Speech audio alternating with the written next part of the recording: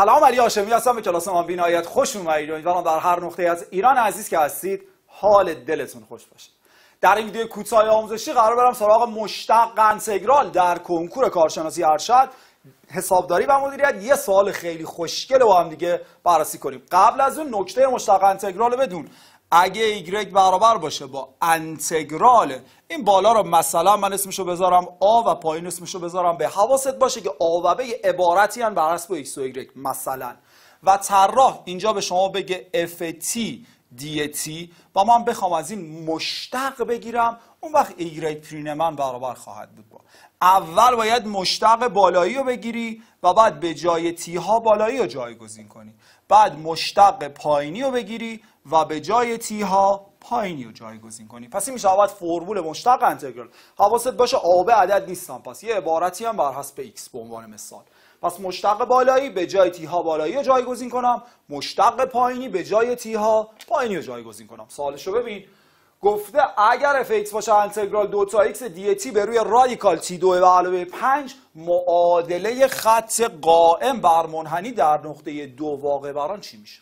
برای نوشتن معادله خط قائم احتیاج دارم به x0 ایگرگ صفر و ام پریم ایکسی که طراح در صورت مسئله به من میگه همون ایکس صفر هست پس ایکس صفر دوه. برای محاسبه ایگرگ صفر باید به جای ایکس بالای دو جایگزین کنم.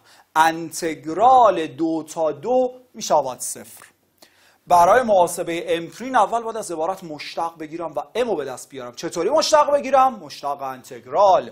ایگرگ پریم برابر خواهد بود با اول مشتق بالایی رو بگیرم. مشتق ایکس می‌شود یک. در. حالا به جای تی ها بالایی رو می‌خوام جایگزین کنم. به جای دی تی همیشه می نویسیم یک رادیکال. اگه به جای تی x بنویسم x به توان دو به علاوه پنج. منها حالا باید مشتق پایینی رو بگیرم.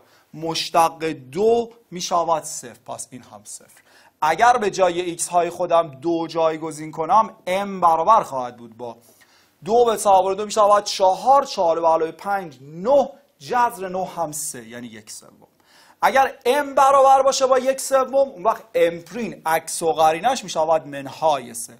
معادله می‌خوام بنویسم. Y منهای y صفر برابر است با m پرین در x منهای x صفر. و جواب ایدال y برابر خواهد بود با منهای 3x به علاوه 6 برای اینکه دسترسی کامل داشته باشید به تمامی ویدیوهای آموزشی من می‌تونید از سایت خانه ریاضی علی هاشمی استفاده کنید. موفق باشید. خدا نگهدار.